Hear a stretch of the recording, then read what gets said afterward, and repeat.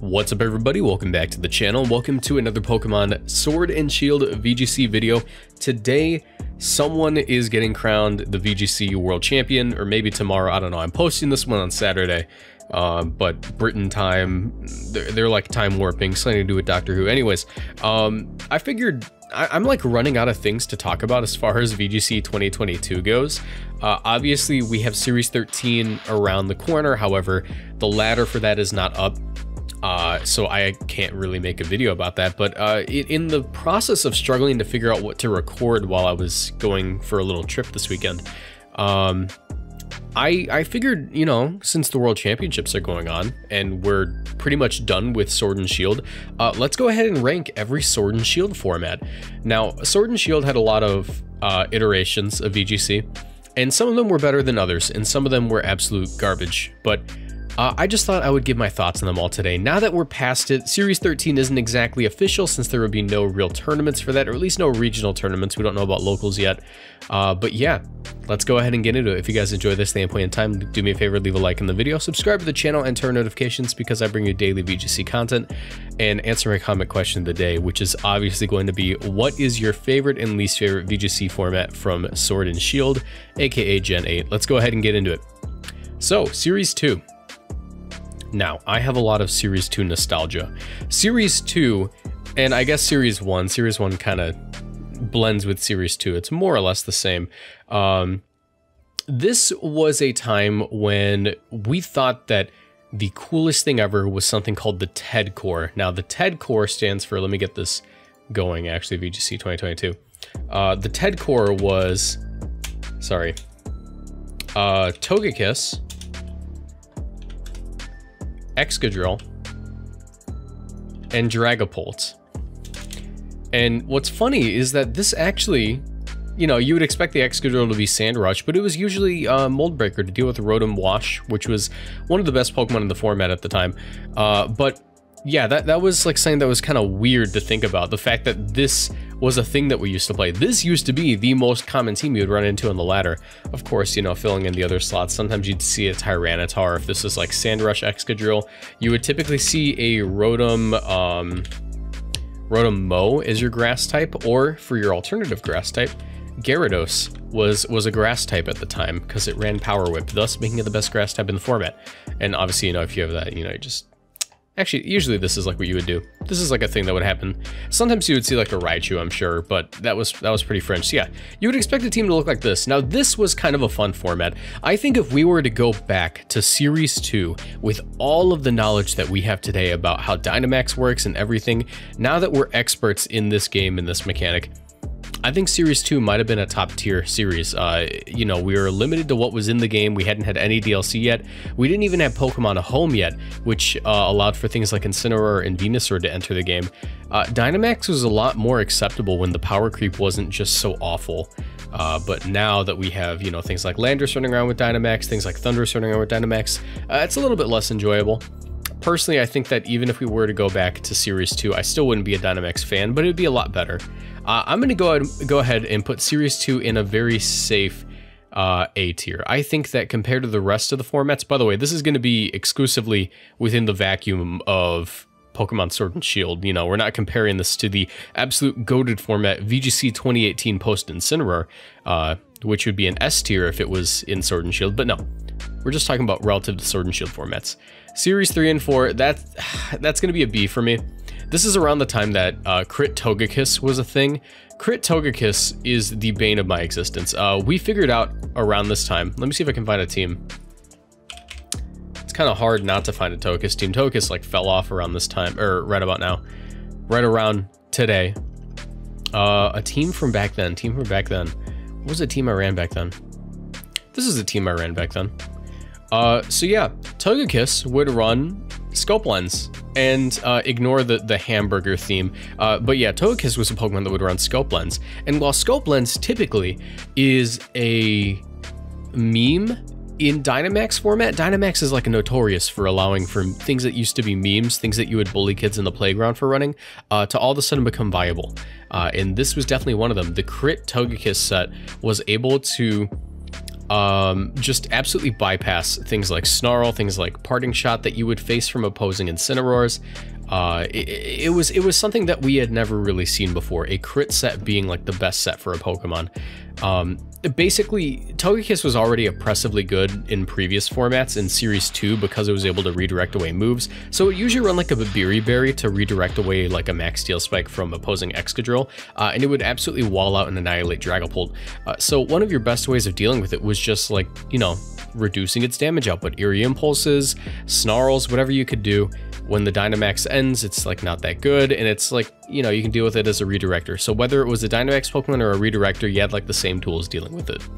Uh, now, now that Togekiss runs this set, it doesn't care about stat drops because there's a 50% chance for it to go, I don't care, and now I'm at plus one speed and my whole team's at plus one speed. Get over it, I win.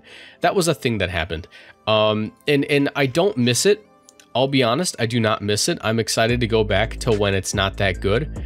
Uh, but yeah, this is another team I built around that time. I've always been a crazy team builder. I have always been absolutely crazy with it. But yeah, uh, I would say that that's gonna be a B tier because of that. Not not C. C is C is kind of I don't know. I don't know if we're even gonna have any C tiers.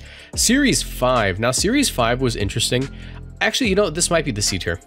This might be the C tier. Um, wow, we are, you guys are going to see like an actual trend going on here. So uh, Series 5, I would put in C tier. While we did receive a lot of cool new tools, I would say that this is the first series where the power creep with Dynamax became apparent. Because if power creep is a thing within Pokemon, Dynamax is like a magnifier of it, of a or a multiplier, or whatever the correct term for it is. It will multiply the power creep. Uh, we had a lot of things running around that could one-shot other things. This was the, the release of uh, Gigantamax Cinderace with Libero, which allowed it to be like a super strong Max Airstream Pokemon. Let me see if I can find a team where I use that. Um, just to give like an example of what, what a team from back then looked like. Okay, here's some Series 6. Series 6, Series 6, Series... Uh, this is a bad team that I made. Where's a good team that I made back then? Uh, I guess I only have okay teams from around this time. I guess I only have okay teams. Okay, wait, this is a thing. This was a bad team though. Ignore the ignore the entire ignore this entire team. Let's just talk about the format. Uh, so yeah, so Series Five was a format where we got a lot of cool new tools. We had uh, what is it? Six, five new Gigantamax Pokemon. No, six if we include the Urshifu forms. Um, and also Urshifu came out around this time. Uh, and this allowed us to use things like Gigantamax Rillaboom, Gigantamax Cinderace. Some people would use Gigantamax Inteleon, even though it wasn't that great. Um, we had two more Gigantamax forms in the Kanto starters, and we had Urshifu running around.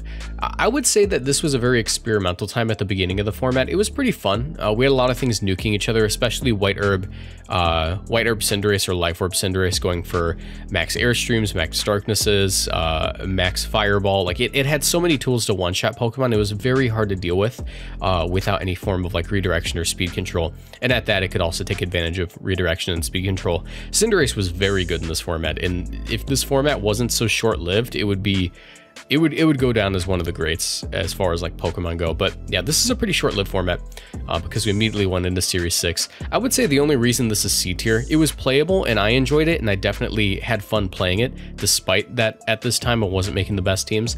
Um, it's it's just the general power creep of this format that makes me not quite like it because it was like yeah we have a lot of things that one shot each other and yeah we have the tools to deal with it uh, but I still don't like that hyper offense is the name of the game in this format. Now, remember how I said we have a lot of things that one shot each other and a lot of tools to deal with it? What if we banned all of those tools Series 6 was garbage. Now, a lot of people in the comments will say something like, but Moxie boosted Marcos Perez, Moxie Marcos boosted Perez. Why was Series 6 bad? You could get away with using anything. It was the best format. I, I disagree. Series 6 um, centralized the format to an extent that we have not quite seen before. You had things like Porygon Z and Clefairy running around that were just abhorrently strong. Um, it was kind of like a 50-50. It was like, okay, me and my opponent are both going to lead off Porygon Z Clefairy, are we going to follow me this turn? Are we going to Helping Hand Max strike this turn? Or is the Clefairy going to sing? Ooh, could you imagine that? That's something that could happen. Um, this was the Porygon Z format. This was the hyper offense format and also it was like the not hyper offense format at times. It was like if you ran if you ran something, it was dealing damage. That was the best way to put it. And at that, we didn't have the the tools necessary to deal with that. Um, Lapras was a thing that we ran around this time. Weakness policy Lapras was a thing, and Life Orb Lapras is a thing because uh, it was it was basically like okay, the, the things that beat Lapras are now gone. Um, so Lapras is a lot better. However, we are able to hold on to Rillaboom, which was very surprising. There were a lot of weird bans in this format, I'll say this. Um, I, I feel like I'm all over the place explaining this format, and that's because I want to make a whole video about it, but let me, let me, let me just collect my thoughts, okay? This format banning things across the board, the top 10 from both singles and doubles, hashtag free Hippowdon, was not a good call because while it did ban things that were at the top of the usage, uh, like you know, like um, Incineroar, like Venusaur, like Torkoal, like the Indeedee forms, and like Dusclops, unfortunately. Um, or was it Porygon 2? I forget which one got banned, but it was one of the two. While it did ban all of those things, those things were integral into suppressing the power of other Pokemon with Lapras, Porygon Z, and Dracozolt being the poster childs of that sort of power creep that we experienced. It was basically a one-shot or get one-shot format. It was it was about as rocket taggy as Pokemon got, and that's that's comparing it to like restricted formats. Because in restricted formats, we had the bulky tools to deal with the things that were one-shotting things. So yeah.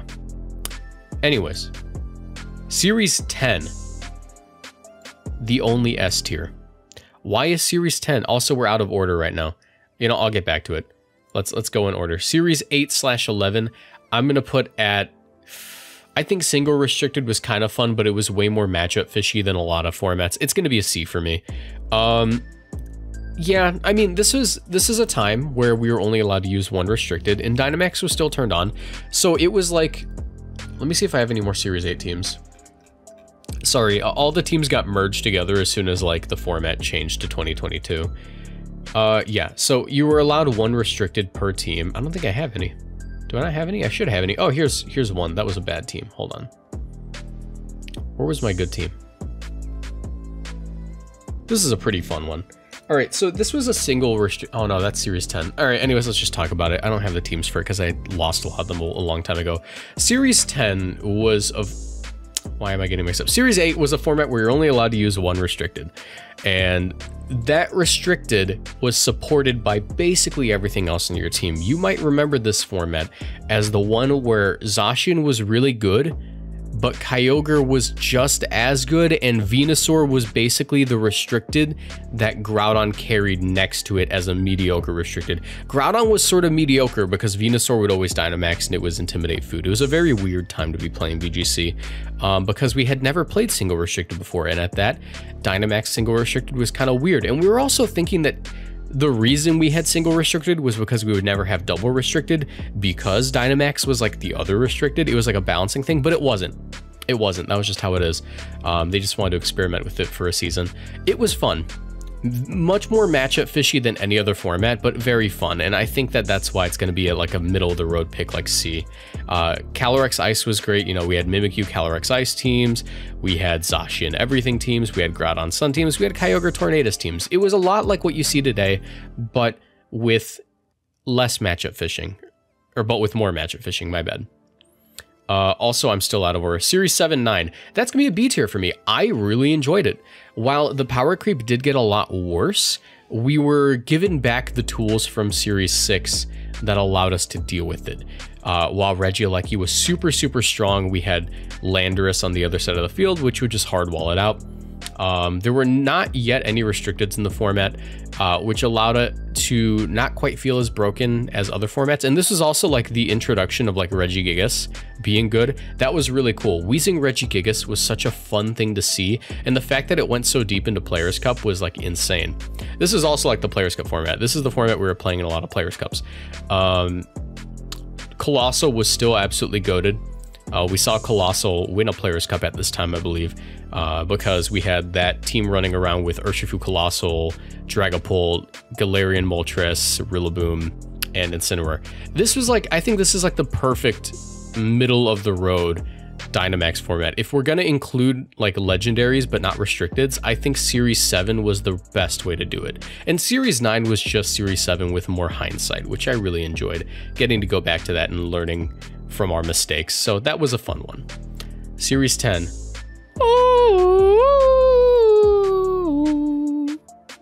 Anyways, it's an S tier. Uh, Series 10. Uh, can you guess why Series 10 is S tier? Here's why. It is the only format in Sword and Shield where we turned off Dynamax. That was so cool. Also, here's why I really love Series 10. I am a person who very much enjoys using big, fat, bulky teams, stupid, bulky teams, dumb teams that eat hits and then hit you back, and the game's gonna last 20 minutes because we are really going at it. We are using our full brain capacity to play this game. Yeah, Series 10 was all that and more. And I think that Series 10 was so fun to me because it was the first time. Where, where can I find it? Also, for one, uh, Xerneas came back. This is the only format where Xerneas could come back and you would run it with like two fire types and, and Volcarona was viable. This is so cool. But beyond that, we had Landorus I, which is scary. But even saucier than Landorus I was Landorus T. This isn't the right Landorus T. Where's my Lando T? Where's the Lando T? Hold on. Is this it? No, where's the Lando T that people were running at the end of the format? Hold on, hold on. I'm trying to find this because this is a really important point. There it is. This was a regular Landorus Therian. It was a special attacker with U-turn, Sludge Bomb, Earth Power, Protect, and Rocky Helmet. Why would you run this? Because it had a chance to live hits from Urshifu Rapid Strike and just have so much damage back on it. You intimidate Zacian and, and you live the hit from the Zacian while Zacian takes more damage. This was a normal thing. And to avoid you know, having to like earthquake your partners because Dynamax was turned off, uh, and to avoid losing to Intimidate spam, you would run a special moveset with Earth Power, and Sludge Bomb was there to deal with Rillabooms as well as Xerneas. This was a really cool thing to see. We saw complete defensive Landorus Therian in a format being normal. So yeah, this format felt like there were two singles games being played side by side. It reminded me almost of VGC 2017. I really love this format. It is the only S tier. And if we could get more of that, if we played Series 10 until this game went away, or if we could play the best format, Series 7 with Dynamax turned off, I would be so happy. But yeah, that was really cool. Also, this is arguably the format where Zacian was at its least viable. Um, because, well, not least viable, but least valuable. Because while um, in dual restricted, you don't have to run a Zacian, and in single restricted, you're sort of matchup fishing against Zacian. In single restricted, no Dynamax, Zacian doesn't feel like a second Dynamax. Because that's basically what it is. It hits as hard as a Dynamax. it just doesn't feel like it. It just feels like a, a very strong, like, you know, if you have like a queen in chess, it feels like your queen, you know. Anyway, Series 12, current format, um, I'm gonna put that at either C or B. I kind of like it. I kind of don't. I do like. The. I, am gonna put it at, at B because I do think it's objectively better than Series 8 and 11. Because the fact that we have two restricted allows you to do a lot of cool stuff. Um, this is one of the more developed formats because we've been playing it for almost an entire year now. Uh, but double restricted allows you to uh, avoid matchup fishing much more than other formats. Uh, you're able to run things like um, Calyrex Palkia, that was a duo that we saw. We saw Kyogre Zacian, also, you know, Groudon Zacian. Uh, we saw Dialga and Groudon. We saw Dialga and Kyogre. Calyrex Zacian, like there were a lot of combinations of Pokemon that were super viable as a restricted duo. No Xerneas though. However, Xerneas did win a did did win a a major with a Groudon as a partner because you know Groudon Charizard Xerneas is actually a fairly good combination. But yeah, uh, it was a lot easier to get away with what you wanted to use when you had two restricteds to cover for your bad matchups, and that's why I think that it's just like a solid format. That's the format that you can go watch at the World Championships right now when this video goes up, probably. Probably not, actually, it might be over. Anyways, good format. B tier. BDSP, that's going to be an A tier for me. We didn't play it long enough, so I kind of want to put it B tier. It was fun. It was it was it was basic Pokemon. It was just basic Pokemon, back to basics. I don't like that we lost things like Eviolite though. That kind of sucked. But yeah, EV series is also going to be an A. The reason EV series is A and not B is because EV series had the foresight to ban things like Gothitelle and Urshifu so it wasn't broken. Because when you can't Dynamax to deal with Urshifu, it's a lot harder to deal with. Um, also, Gothitelle is a little bit oppressive. So if they didn't ban it, it would probably be like a B. But I think A is fine. Uh, it was a fun format. I very much enjoyed playing pure Pokemon in in Sword and Shield uh, with no gimmicks. So that was really cool. Uh, however, these two were both unofficial formats. And that just goes to show how like the official formats stack up against the unofficial formats because both unofficial formats are like A tier. And the off-season filler format where we turned off Dynamax was S tier. I think I'm, I'm I, you guys know now, I'm a big Dynamax hater. If you like Dynamax, that's fine, you know. It's just a different thing that I personally don't enjoy.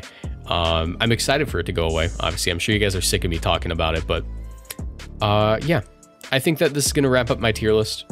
Obviously, you know, you guys can make your own tier list. I'll leave the link for this in the description down below. Uh, but let me know what you guys think about my tier list in the comment section down below. And if you guys enjoy, leave a like. Sorry if this one was a little bit rambly and unfocused. I'm like really tired and I'm trying to get videos done before I go for my weekend trip. So yeah, have a nice one, guys. Bye.